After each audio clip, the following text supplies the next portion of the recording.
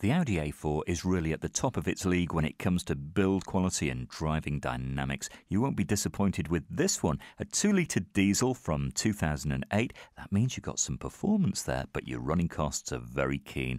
And it's a luxuriously appointed car, this one as well. On the clock, about 25,000 miles. That's hardly anything, and you do have the benefit of a full service history. Now, inside, they're cloth seats and they're very comfortable and they're heated.